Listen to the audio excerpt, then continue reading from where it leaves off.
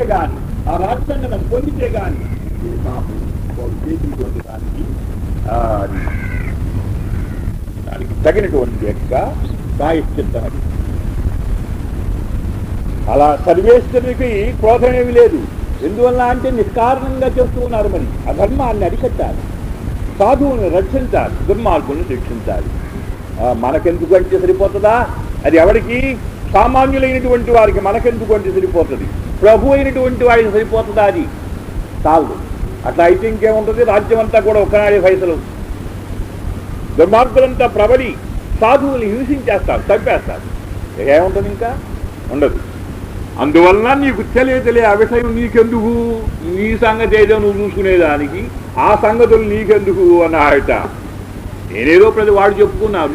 నేను ప్రతిజ్ఞ చేశాను. ఆ సంగతి నీకెందుకులే? అంటే వదలలేదు ఆ సీతామహాదేవి. వదలక ఈ ప్రేమ బాధిస్తూ ఉందట.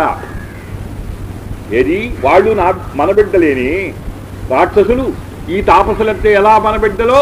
వాళ్ళు మనబిడ్డలే. కాబట్టి వాళ్ళను సంహరించడం ఏమిటి అని ఆ లోపల ఉన్నటువంటి యొక్క ఆ దయ ఉన్నదే. దాని చేత గట్టిగా గట్టిగా గట్టిగా చెప్పడానికి పూనుకుందట. స్వామి మీరు ఎన్నెలా చెప్పండి? వాళ్ళు నరకటం మాత్రం నాకేమి బాగుండలేదు నరకటానికి వీలు లేదు అంటే పాపం వచ్చిందట ఇక రామచంద్ర స్వామి వారికి. ఇక లేకపోతే కుదిరేటట్టుగా లేదు వ్యవహారం. అప్యహం జీవితం జస్యాన్నారట ఏం? నా భక్తుల విషయంలో వారిని కాపాడే విషయంలో అడ్డు వచ్చినట్టయితే నా జీవితమైన వదులుతా. నా యొక్క జీవితం ఉన్నది అదైనా వదిలేసేస్తా అంతేగాని వాళ్ళని రక్షించడం మాత్రం నేను మారను అన్నారు జీవితమైనా వదులుతారా? జీవితం కాదు. జీవితం లెక్కలోది కాదు. నా జీవితముల కంటే కూడా ఎక్కువ. ఎవరు? నీవు. స్వాంగా సీతే సలక్షణం అన్నారట. నా ప్రాణముల కంటే ప్రాణేభ్యోపి గది అని చెప్పాడు సీ- ఆ సీతామహాదేవి విషయాన్ని. ఆ రామచంద్ర స్వామి వారు నా ప్రాణముల కంటే ఎక్కువ సీత అని చెప్పి చెప్పారు. ప్రాణముల కంటే ఎక్కువ అటు సీతామహాదేవి అటువంటి నా నా యొక్క జీవితం కంటే నా ప్రాణముల కంటే ఎక్కువైనటువంటి సాంవా సీతే అన్నారట. నిన్నైనా వదులుతా. దేనికి అడ్డా వస్తే నా సాధు పరిత్రాణం ఉన్నది. సాధువులైనటువంటి వారిని రక్షించే విషయంలో అడ్డు అడ్డు వచ్చినట్లయితే నిన్నైనా వదులుతా. వాళ్ళని వదలను. అయితే అన్నిటికంటే గొప్పది ఎవరికి వారి జీవితం ప్రాణములు. ఆ ప్రాణములకు బాధ కలగనంత వరకు అందరినీ రక్షించడానికి చూస్తాడు వీడు. వీడి ప్రాణములకే ముప్పు వచ్చినప్పుడు అంద అన్నిటినీ వదిలేసేస్తాడు. ఇక కొడుకు లేదు పెళ్ళాము లేదు ఇల్లు లేదు వాకిల్ లేదు. ఎవడి ప్రాణములు వాడు రక్షించుకోవడానికి ప్రయత్నం చేస్తాడు. అన్నిటికంటే ప్రాణముల మీద తీపి ఎక్కువ. అటువంటి నా ప్రాణములనైనా వదులుతాను అన్నారట. ప్రాణముల కంటే ఎక్కువైన నిన్నైనా వదులుతా. కానీ వారిని వదలను.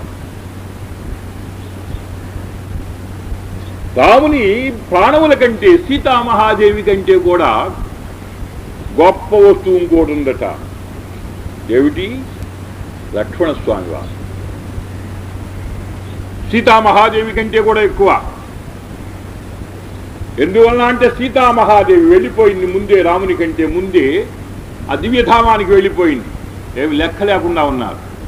చాలా కాలం ఉన్నారు. సీతామహాదేవి వెళ్ళిపోయిన తరువాత భూమిలోకి వెళ్ళిపోయింది ఆమె.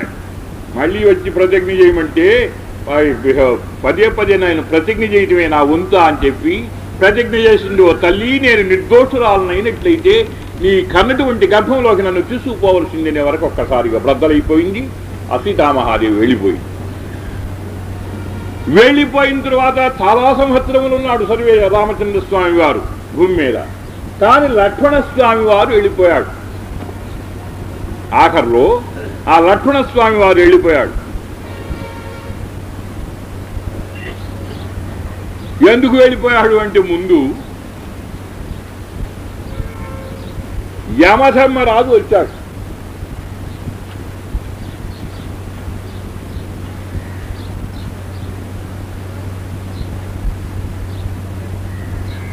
యమధర్మరాజు ఆ రామచంద్ర స్వామి వారి దగ్గరకు వచ్చాడు.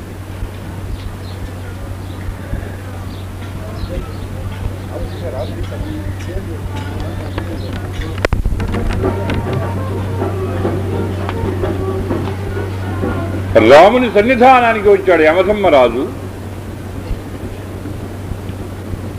వస్తే ఆ స్వామి ఏమిటి?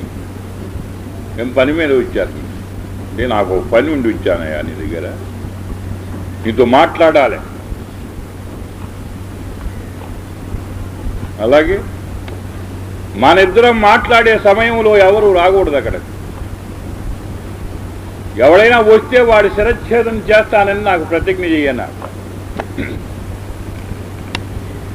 మన ఇద్దరం మాట్లాడే సమయంలో ఎవరు రాకూడదు. ఒకవేళ ఎవడైనా వస్తే వచ్చిన వాడిని శిరచ్ఛేదన చేస్తానని నాకు ప్రతిజ్ఞ చేయి. అప్పుడు కానీ నేను మాట్లాడు అలాగే స్వామి వచ్చే వాడి శిరచ్ఛేదన చేస్తాను నేను.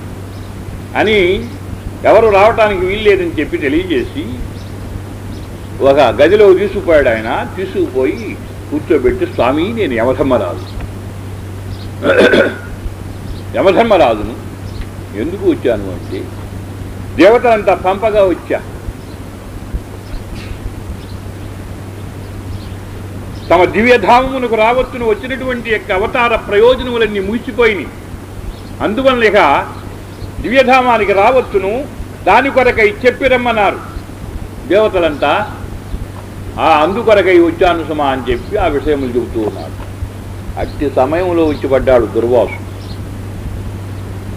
దుర్వాస మహర్షి వచ్చా లక్ష్మణస్వామి వారిని చూచి లక్ష్మణ ఏడయ్యా మీ అన్న అన్నగారు అంటే మాట్లాడుతున్నారని.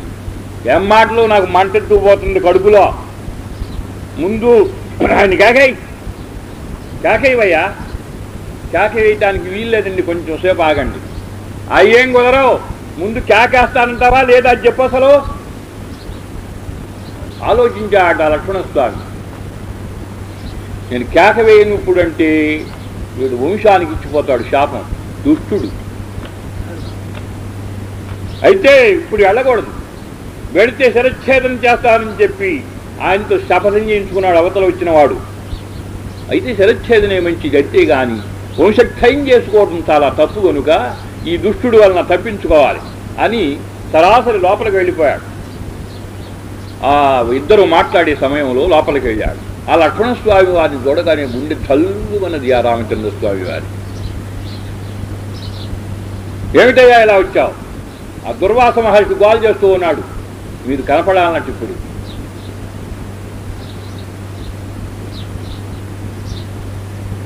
ఆపేశాడు చెప్పడం ఆ స్వామి మీరు చేసిన ప్రతిజ్ఞ ఉన్నది అది మాత్రం జాగ్రత్త సుమా వెళ్ళిపోతున్నాను నేను.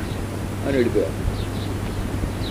వాడికి ఏదో పెట్టవలసిందంతా పెట్టించాడు. ఆ రామచంద్ర స్వామి వారు తిన్నాడు వాడు శోభన వాడిపోయాడు పోయిన తర్వాత లక్ష్మణస్వామి వారిని కౌగులించుకుని తండ్రి తెలిసిన మా ప్రతిజ్ఞ తెలిసి కూడా. ఎందుకు వచ్చావయ్యా లోపలికి? ఇప్పుడు నేనేం చేయాలి నిన్ను? నిన్ను ఏం చేయాలి నేను? నీ శరచ్ఛేదం చేసేటా నేను? నీ శరచ్ఛేదం చేయాలి. అట్లా ప్రతిజ్ఞ చేయించుకుపోయాడు వాడు. అని ఆ లక్ష్మణస్వామి వారిని కౌగులించుకొని దుఃఖపడుతూ ఉన్నారు. గగ్గోలైపోయింది. లక్ష్మణస్వామిని ఆ నరకటం అంటే రాముని వలన అవునా ఆ పని? ఆ రాముని యొక్క దివ్య చరిత్ర ఉన్నది ఆ రామాయణమునందు. మానవుడు ఇటువంటి వాడు ఎలా సంచరించవలసింది యావత్తు కూడా అందువల్లనే ఆదర్శ అవతారం అన్నారు. ఇలా ఉండాలి. మానవుడైనటువంటి వాడు. అన్ని విషయములు భార్య భార్య విషయంలో ఇలా ఉండాలి. ఏకపత్నివృతుడై ఇలా ఉండాలి. తల్లుల విషయములో ఇలా ఉండాలి. తండ్రి విషయములో ఇలా ఆజ్ఞలు ధిక్కరించకుండా ఇలా ఉండాలి. సోదరుల విషయములో ఇలా ఉండాలి. అని మొత్తం స్నేహితుల విషయంలో ఇలా ఉండాలి. ఆ సాధువులైనటువంటి వారి విషయంలో ఇలా ఉండాలని తాను నడిచి చూపించినటువంటి దివ్యావతారం అండి. లక్ష్మణస్వామిని ఏంటి? తమ్ములను ఎవరిని నరకలేడు సరే తమ్ములు అంటే ఇంత ప్రేమ అని చెప్పడానికి వీల్లేదట రామచంద్ర స్వామి వారికి ఆ వచ్చినప్పుడు ఆ లక్ష్మణస్వామి అన్నాడు భరతుడు వస్తూ ఉన్నాడు స్వామి రాజ్యమును అపహరించింది కాకుండా ఇక్కడ ఏకాకిగా ఒంటరిగా వీరు ఉన్నారని ఇప్పుడైతే సులభంగా జయించవచ్చునని సైన్యాన్నంతా వెంటబెట్టుకుని వస్తున్నాడు సుమా భరతుడు. ఇది అత్యంత ప్రేమ ఆ పాపశంకి అన్నాడు. ప్రేమ అధికమైతే లేనిపోయిన ఎన్ని ఊహిస్తూ ఉంటాయన్నాడు. ఆ, పాపములు ఊహిస్తూ ఉంటాడు వీడు. ఎవడైనా సరే మనకు ప్రేమ పాత్రుడైనటువంటి వాడు ఊరికి పోయి వాడు వస్తానన్న సమయానికి రాకపోతే ఎందుకు రాలేదబ్బా వాడు పొద్దునే వస్తానన్నాడే మరి త్రోవలో ఏమైనా జరిగిందా ఆ, ఇంకేదైనా అపాయం జరిగిందా అని ఆలోచిస్తూ ఉంటుందన్నాడు లేని అపాయమును శంకిస్తూ ఉంటుందన్నాడు అదే విరోధి అయితే అక్కడ ఎన్ని అపాయములతో ఉన్నప్పటికీ వాడికేం రోగం రా ఎట్టు వేసేది వీధికి వస్తాడు వాడెక్కడికి పోతాడు అని చెబుతాడు వీడు అత్యంతమైనటువంటి ప్రేమ యొక్క గుణం అది. ఆక ఆ రాముని ఎందున్న ప్రేమ అత్యయించేతనే అన్నాయట ఈ మాటలు ఆ లక్ష్మణ స్వామి స్వామి ఆ భరతుడు వస్తూ ఉన్నాడు సైన్యంతో కూడా. ఎందుకు అంటే ఆయన లేనప్పుడేమో తల్లి వెళ్ళగొట్టింది. ఇక్కడ ఒంటరిగా ఉన్నాడు ఉన్నావు నీవని ఇప్పుడైతే సులభంగా జయించవచ్చు నిన్ను. శాశ్వతంగా తనకే రాజ్యం దక్కుననే ఉద్దేశంతో సైన్యమునంతా కూడా వెంట పెట్టుకుని వస్తున్నాడు సుమా భరతుడు. కనుక దేవరవారి ఆజ్ఞ అయితే ఇక్కడ దాకా వచ్చే పని లేదు. భరతుడు భరతుని యొక్క సైన్యము నా యొక్క ధరస్సు ఉన్నదే దానికి. ఆ అల్లెట్లాడు ఎక్కించాను అంటే మన ఆశ్రమానికి దగ్గరకు రాకము రాకముందే భరతుని భరతుని యొక్క సైన్యమునంతా కూడా నాశనం చేసి నదికి పడుకోబెడతా. కనుక దేవర వారు అనుగ్రహిస్తే చాలును ఏమంటారన్నాడు అంటే చెవులు రెండు మూసుకున్నారట ఆ రామచంద్ర స్వామి వారు. లక్షణ ఎంత మాట నావయ్యా ఎంత మాట నావు నీవు శత్రుఘ్నుడును పుణ్య నిరతుడైన భరతుడును లేని ఎడ నాకు పరగనెద్ది సుఖమబ్బనేని. వీటి పోతుండు నీరు గావించుగాక. నీవు ఆ పుణ్య నిరతుడైనటువంటి యొక్క భరతుడు. శత్రుఘ్నుడు మీ ముగ్గురు లేకపోయిన తరువాత నాకు ఏదైనా సుఖమున్నదే. మీ ముగ్గురు ఉండగా సుఖం వస్తే సరే ఉన్నది. మీరు ముగ్గురు లేకుండా వచ్చినటువంటి యొక్క సుఖము వీటి హోతుండు నీరు గావించుగాక. అలా మీరు లేకుండా వచ్చిన యొక్క సుఖం సుఖమున్నది అగ్నిహోత్రుడు ఆ దహించేయాలి భస్తం చేయాలి. అలాంటి సుఖం నాకు సుఖంగా ఉన్నది. ఆ భరతునికి రాజ్యం అంతా వదిలేశాం. వదిలేసి వచ్చాం. ఇప్పుడు చంపుతా. చంపుతావటయ్యా? భరతుడు వచ్చే. ఆ భరతుడు పోయిన తరువాత మీరు లేకపోయిన తరువాత నాకు రాజ్యం ఎందుకు ఈ భోగములు ఎందుకు? ఇవన్నీ ఎందుకు తగలబెట్టుకోనా? కానీ భరతునికి రాజ్యమునందు అభిలాష లేదు నాకు తెలుసు అది. నాకు తెలుసు. ఆ తల్లి కోరింది.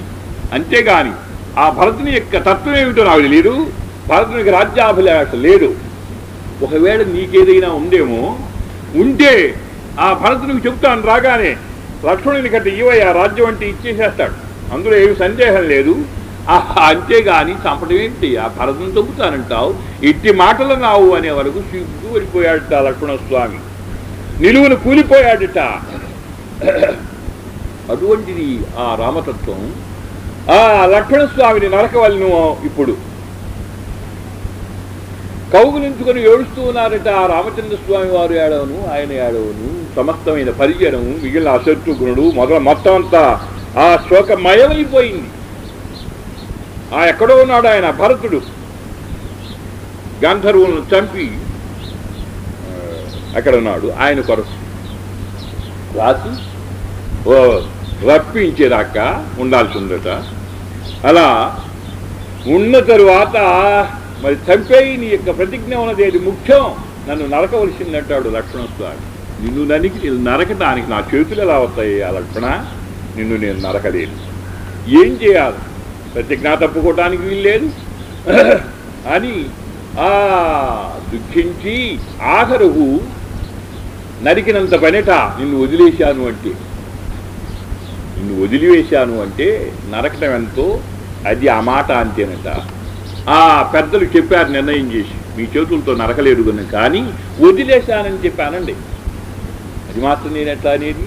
లక్ష్మణుని ఆ నేను వదిలేశానని చెప్పి ఈ నోరు వచ్చునా అని దుఃఖపడి ఆ ఆఖరకు తప్పక లక్షణ వదిలేశారు నీ ఇష్టం చోటి పోయా అన్నారు అంటే ప్రదక్షిణం చేసి పాదముల మీద పడి ఆ లక్ష్మణస్వామి వారు ఆ స్వామి నీ వదిలేసిన తర్వాత నేను పోయేది ఎక్కడికి ఇంకా? ఇంకా పోయేది ఎక్కడికి లేదే? అని పోయి ఆ సరయువులో ప్రవేశించి తన యొక్క సహస్ర ఫలములు ధరించినటువంటి వాడై ఆ యొక్క శేషస్వరూపాన్ని ధరించి వెళ్ళిపోయాడు ఆయన. వెళ్ళిపోయిన తర్వాత ఈ భరతుడు వచ్చేవరదాకా ఉండి ఆ సమస్తమైనటువంటి యొక్క జనమంతా అనుభవించిందట. ఇక నేను ఉండను ఒక్క క్షణకాలం ఉండను. లక్ష్మణేన గతాంగతి. లక్ష్మణుడు వెళ్ళిపోయిన తర్వాత ఈ భూలోకంలో ఒక్క క్షణకాలం కూడా నేను ఉండేది లేదయ్యా.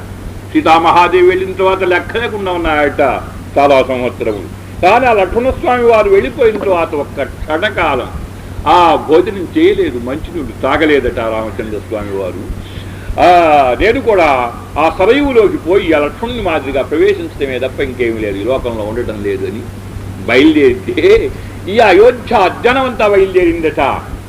స్వామి నిన్ను వదిలి మేము ఎక్కడ ఉంటాం మేము ఉండలేము నిన్ను వదలిన తరువాత ఆ నీతో పాటుగా మేము రావలసిందే అని చెప్పి వెంటబడ్డారట.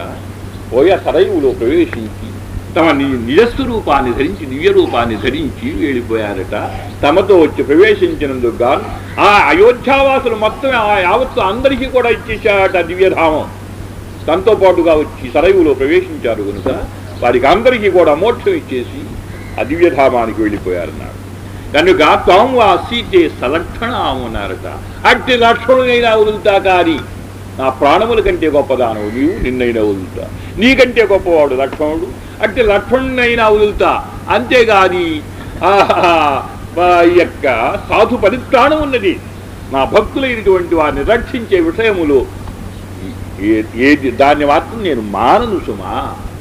ఇవైనా వదులుకుంటా అడ్డు వచ్చి. అంతేగాని అది మాత్రం నేను మానేది లేదు. పెద్ద పెద్ద మాటలు మాట్లాడక జాగ్రత్త ఊరుకో అన్నాడు. ఇక మాట్లాడలా.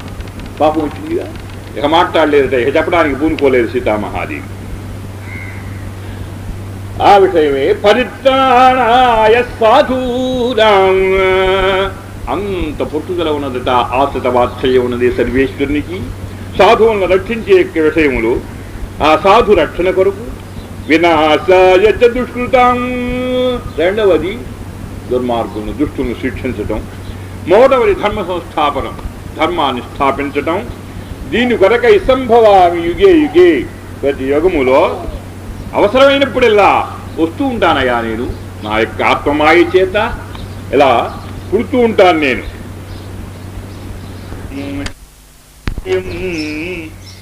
ఏవం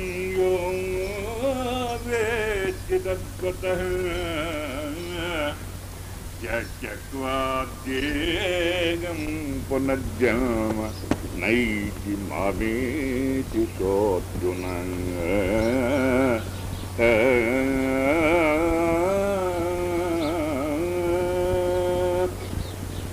కాదు ఈ జగత్తులో ఎందుకు అవతరిస్తూ ఉన్నానో అవరిస్తూ అవతరిస్తూ ఉన్నాడు ఆ విషయాన్ని ఆ కారణము నిరూపించారు ఏది?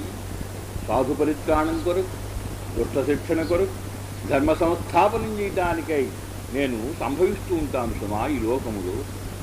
అని ఎందుకు? ఇవెందుకు చేయాలి ఆయన? సాధు పరిత్రాణం ఎందుకు చేయాలి? దుష్ట శిక్షణ ఎందుకు చేయాలి? ధర్మ సంస్థాపనం ఎందుకు చేయాలి? ఏం పని ఆయనకు? అంటే ఆయన సొత్తుది. ఈ యొక్క విభూతి ఉభయ విభూతులు రెండు కూడా ఆయన సొత్తు కనుక తన సొత్తు చెడిపోయేటప్పుడు యజమాని ఊరుకుంటాడా? ఊరుకోడుగా? సొత్తు సొమ్ము నష్టపడేటప్పుడు యజమాని ఊరుకోడు. అలాగే తన యొక్క సొత్తు అయినటువంటి యొక్క లీలా విభూతి ఎందు అవకతవకలు జరిగినప్పుడు అధర్మం ప్రబలినప్పుడు దాన్ని సరిచేసుకోవలసినటువంటి యొక్క బాధ్యత ఆయనకే ఉన్నది కనుక ఇలా సంభవిస్తూ ఉన్నాను సమా యుగ యుగముల ఎందు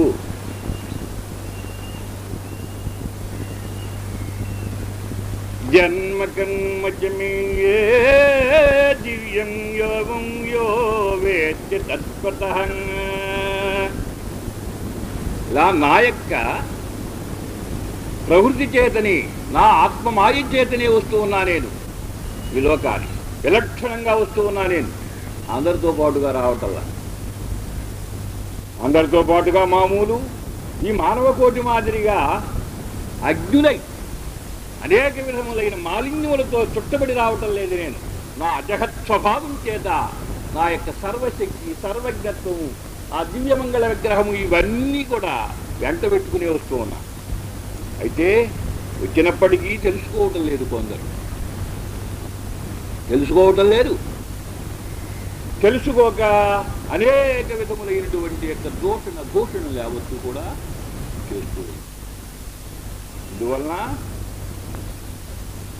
ఈ విషయం యది యొక్క దేనిలా అవతరిస్తూ ఉంటానని నా యొక్క విలక్షణమైనటువంటి స్వభావాన్ని కూడా చూసి కూడా మామూలుగా అందరి మాదిరిగా ఆ కృష్ణావతారం ఉన్నది. అందరి మాదిరిగా అవతరించాడు ఆయన?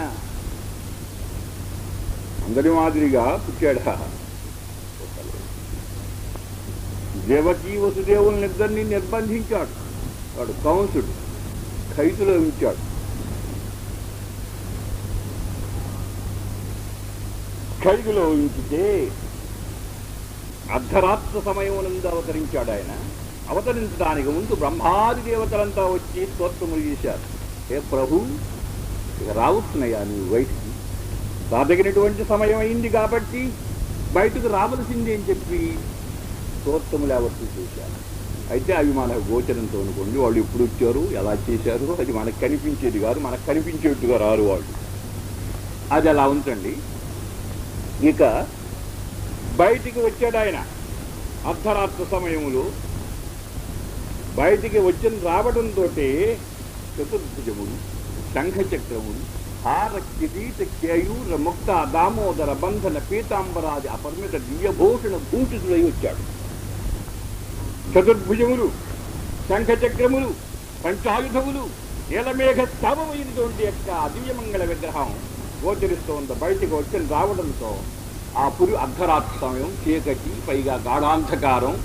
ఆ ఖైదు కదా చెరసాల ఒక్కసారి వెలిగిపోయింది జగజ్జగాయమానంగా. కరులు మిరుమిట్లు వెళ్ళిపోయేటట్టుగా వెలిగింది. కాంతి ఏమిటి అని చూస్తే పిల్లవాడు గోచరిస్తూ ఉన్నాడు. గోచరిస్తూ ఉంటే చూచారు ఆ దేవకి ఏ ప్రభు కనిపిస్తున్నాడుగా? సర్వేశ్వరుడు జగదీశ్వరుడు గోచరిస్తూ ఉన్నాడు. నమస్కరించి హే ప్రభు మా గర్భవాసమునందు నీవు ఇలా పుట్టావు అంటే ఎన్ని జన్మలయందు మేము చేసినటువంటి యొక్క తపస్సో ఇది. కానీ ఇప్పుడు మేము చెరసాల ఎందు బంధింపబడి ఉన్నాం.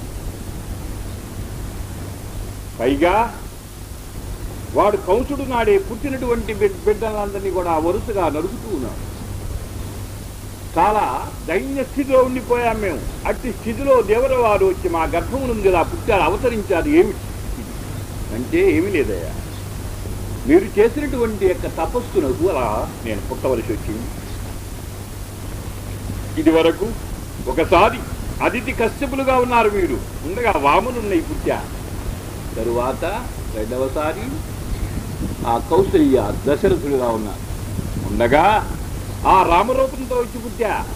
ఇప్పుడు మళ్ళీ ఈ రూపంతో కృష్ణ రూపంతో వచ్చి మీకు పుట్టవలసి వచ్చింది. మూడు సార్లు పుట్టవలసి వచ్చింది మీ గర్భములందు ఈ యొక్క లోక త్రాణం కొరకై లోక పరిత్రాణం కొరకై నేను ఇలా వచ్చాను. కానీ ఇక మీకు జన్మ లేదు. ఇక మీకు జన్మ లేదు. నేను పుట్టవలసి అయితే కౌన్సిలి వలన భయం అంటూ ఉన్నది. అది భయపడవలసిన పని లేదు మీరు. నన్ను ఇప్పుడే తీసుకుపోయి ఆ వరేపల్లి ఉన్నది నంద గోకు గోకులం అక్కడ యశోదాదేవికి ఇప్పుడే ఒక ఆడుపిల్ల పుట్టి ఆ యొక్క నన్నుని భాగ్యం ఉన్నది. నన్ను తీసుకుపోయి అక్కడ పెట్టి ఆమెను తీసుకురా ఇక్కడ నీవు చేయవలసిన పని అది. అంటే ఎలా తీసుకుపోయేది? తాళాల మీద తాళాలు వేసి ఉన్నాయి. చెర చెరసాలలో బంధించి. వసుదేవుని కాళ్ళకు వేసి ఉన్నాయి. సంకెళ్ళు చేతులకు వేసి ఉన్నాయి. తీసుకుపోయేది ఎట్లా? ఎన్నో పెట్టేశాడు కాపలాలు. ఆ కంసుడు పుడుతూ ఉండగానే నాకు అప్పగించవలసింది. అంటే ఇలా చెప్పాడట చెబితే ఆనందపడ్డారు వారు. ఆ దేవకి వసుదేవుడు అనేక విధములుగా స్తోత్రములు చేశారట. సామాన్యమైనటువంటి మానవులకు జరిగేటటువంటి యొక్క ఉత్సవాదులు కూడా జరగలేదట ఆ సర్వేశ్వరుడు. మామూలుగా పిల్లవాడు పుట్టాడు అంటే ఆనందపడి చుట్టుప్రక్కల వాళ్ళందరినీ పిలుస్తారు మాకు. పిల్లవాడు వెలిగాడు. ఆ ముత్తైదువులంతా బయలుదేరి వచ్చి ఆ పిల్లవాడిని చూసి ఆ ముక్కు బాగా ఉంది నోరు బాగా ఉంది అని ఆనందపడి ఏవేవో మాటలు మాట్లాడి అప్పుడు చేయవలసినటువంటి యొక్క ఆనంద కాద్యములు యావత్తు కూడా చేసి వెళ్ళిపోతూ ఉంటారు. ఇప్పుడు అలా చెప్పుకోవడానికి లేదట ఎవరికి చెప్పుకోవడానికి వీల్లేదు ఆ జగదీశ్వరుడైనటువంటి యొక్క సర్వేశ్వరుడు అనంతకోటి బ్రహ్మాండములకు అధిపతి అయినటువంటి యొక్క సర్వేశ్వరుడు ఈ మానవ కోటిని రక్షించడానికి మానవ లోకానికి వస్తే దొంగ మాదిరిగా రావాల్సి వచ్చిందట. అర్ధరాత్రమునందు దొంగ గద ఎలా ప్రవాస ప్రవేశించును? ఆ ప్రకారంగా దొంగ దొంగతనంగా రావలసి వచ్చిందట. ఏమిటయ్యా ఇది? ఎందుకు ఇలా కలిగిందంటే వీళ్ళ యొక్క దురదృష్టం సుమా. లోకుల యొక్క దురదృష్టం ఇది వాడిని ఒక రాత్రి అక్కడ అట్టిపెట్టుకొని ఆ వాడిని సేవించి ఆనందపడేటటువంటి యొక్క భాగ్యం కూడా లేదట. అయితే వెంటనే ఊడిపోయిన ఈ సంఖ్యలు కాళ్ళకు చేతులకు ఉన్నటువంటి సంఖ్యలు ఊడిపోయిన యూసుదేవునకు ఆ ఒక పళ్ళెరమునందు పెట్టుకొని ఉపసంహరంగా హే ప్రభో నీ యొక్క అదివ్య రూపం ఉన్నది అది ఉపసంహరించవయ్యా అన్నది ఆ దేవకీదేవి. లేకపోతే నిన్ను ఎవడబడితే వాడే తెలుసుకోగలుగుతాడు. ఇలా ఉంటే ఈ రూపంతో ఉంటే. అందువలన నీ యొక్క చతుర్భుజములు అవన్నీ కూడా ఆ ఉపసంహరించవలసింది అంటే ఆ ఉపసంహరిస్తూ ఉన్నానని మామూలుగా పిల్లవాడు మాదిరిగా అయిపోయాట ఏ పళ్ళరంలో పెట్టుకొని ఎత్తుకున్నాడు. బార్లు బార్లుగా చెరుచుకుపోతున్నాయి తలుపులన్నీ కూడా. తాళాలు ఊడిపడుతున్నాయి. బయలుదేరి వెళ్ళిపోయాడు. వెళ్ళిపోతే ఆ అనంతుడు నాడే శేషుడు సహ తన యొక్క సహస్ర ఫణముల చేత అలా పట్టేశాట బొంతు మొదలైనటువంటివి కూడా సర్వేశ్వరుని పడకుండా తన ఫణములు విప్పి గొడువుగా పట్టి వస్తూ ఆ యమునాథు దగ్గరకు వచ్చాడు. శ్రావణ మాసం. అపారంగా పారుతోంది ప్రవహిస్తున్నది మహాప్రవాహం. దాటేది ఎట్లా? దాన్ని ఆ ఆ సర్వేశ్వరుని యొక్క పాదములు చూపించాట దానికి. రెండు పాయలైంది యమున. ఇటు ఇటే ఈ ప్రవాహం ఇటే ఈ ప్రవాహం ఇటే. జాను మాతోతకోయవు మోకాటిలో తోచిందట ఆ వసుదేవునకు. ఆ యమునా నది దాటి వెళ్ళిపోయాడు. అవతలే ఉంది. ఆ యొక్క నందుని యొక్క వరేపల్లె. సరాసరి ఆ నందుని ఇంటికి వెళ్ళాడు. నందునికి వసుదేవునికి చాలా స్నేహం. ఆ పరమ మిత్రులు వాడు అందువల్లనే నన్ను ఈ యొక్క వసుదేవుని యొక్క భార్యలు ఆ నందుని ఇంట్లో ఉన్నారు. ఈ కంసుని యొక్క బాధ పడలేక ఆ రోగిని మొదలైనటువంటి వారంతా అక్కడే ఉన్నారు. తీసుకుపోతే అప్పుడు ప్రసవించి ఉన్నది కానీ చుట్టూ ఉన్నారు ఎవరికి ఏంటి లేదు. ఆ మైకం కమిపోయి ఏ బిడ్డ పుట్టింది కూడా తెలియదు ఎవరికి. యశోదాదేవికి తెలియదు అక్కడ ఉన్న వాళ్ళకి తెలియదు. పుట్టి మాత్రం ఉన్నది. మెల్లగా పోయి అక్కడ ఆ స్వామిని పరుండ పెట్టి ఆమెను పెళ్ళంలో పెట్టుకుని ఎత్తుకుని బయలుదేరి వచ్చేసాడు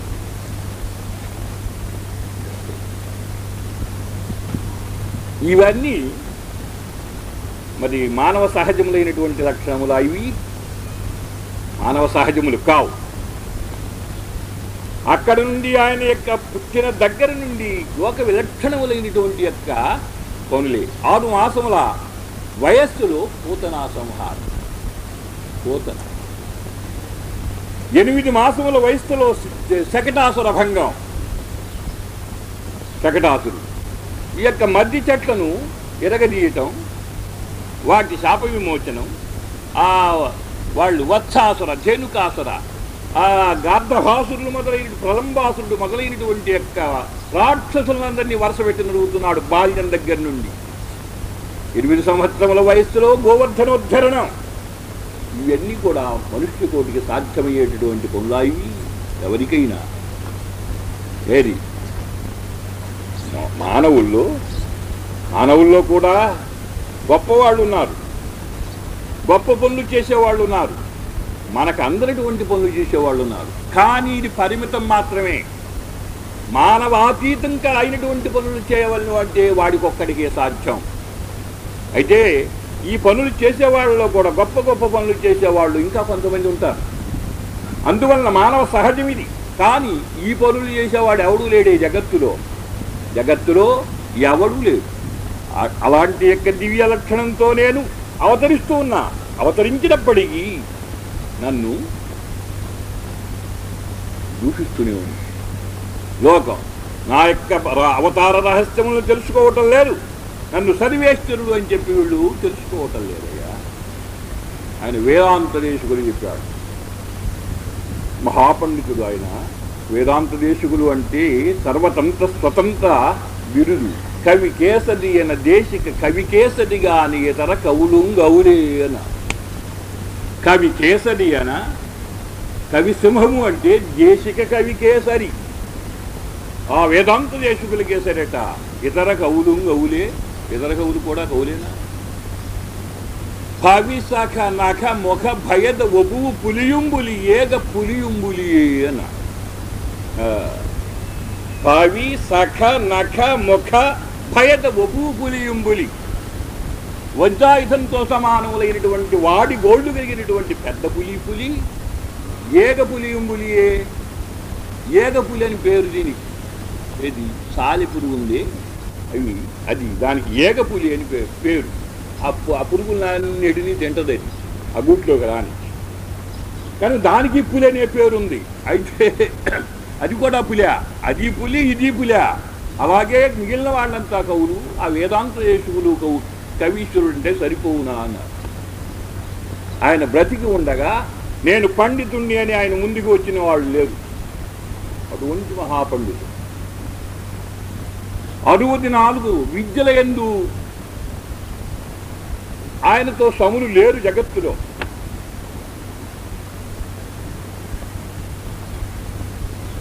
జయస్తంభాన్ని నాటారు వారి ఇంటి ముందు. ఇంటి ముందు జయస్తంభం నాటారు ఎవరైనా సరే. ఆ ఏ యొక్క మతస్థుడైనా ఎవరైనా సరే వచ్చి వాదము చేయవచ్చును అని. ఎవరు చేస్తారు? వెంకటేశ్వర స్వామి ఘంటావతారం అన్నారు. మరి ఒక గంట మ్రోగలేదట వెంకటేశ్వర స్వామి ఆలయంలో రెండు గంటలు ఉన్నాయి పెద్ద పెద్ద గంటలు. ఆ గంటలు దాంట్లో కూర్చుని వాయిస్తూ ఉంటారు అర్చన చేసే సమయంలో.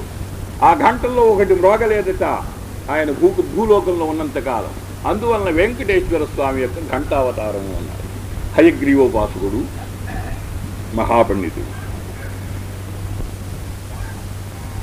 ఆయన చెప్తాడు నిర్రవధి గుణ గ్రామే రామే. అయ్యా తమని దూషిస్తూ ఉన్నారు లోక లోకులు కొంతమంది అని చెప్పారట. శిష్యుడు వచ్చి అంటే పిచ్చముండా కొడుకులారా మన దూషించడం ఏమిటిరా? మన దూషించడం ఏమిటి?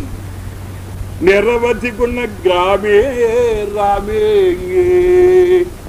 సమస్త కళ్యాణ గుణ పరిపూర్ణుడైనటువంటి రాముని ఎందు వాగసి స్ఫురితముషిత లోక లోక వదంతి సతమితికే ఏ ఏ. ఈ మానవులు ఉన్నది వీళ్ళకి ఆయుధాలు ఉన్నాయి ఏం ఆయుధాలు? వాగసి స్ఫురితముషిత లోకాలోకం మాటలని బాణములు ఉన్నాయి వాళ్ళ దగ్గర కత్తులు. ఆ కత్తులతో అందరినీ పొడవటమే వాళ్ళ పని. ఇప్పుడు ఆయుధంతో వేసిన దెబ్బ మానిపోతుంది. కానీ వాక్కుతో వేసిన దెబ్బ మానుతున్నాడు వాడు బ్రతికున్నంత వరకు మనసులో వీడు ఇలా మాట్లాడాడు అని చెప్పి బాధపడుతూనే ఉంటాడు కనుక ఆ యొక్క ఆ కత్తులు. అసిస్ఫురిత ముచితాలోకాలోకంగా దాన్ని ఎక్కడ ఉపయోగించుకోవాలో ఎలా ఉపయోగించుకోవాలో తెలియనటువంటి మూఢులు వీళ్ళు.